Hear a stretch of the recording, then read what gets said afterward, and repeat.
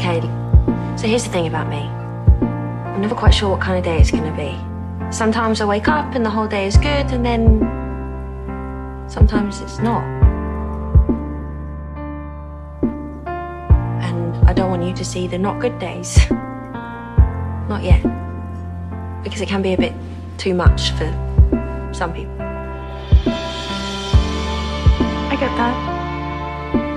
But you don't have to worry. Because it won't be too much for me. No matter what kind of day it is.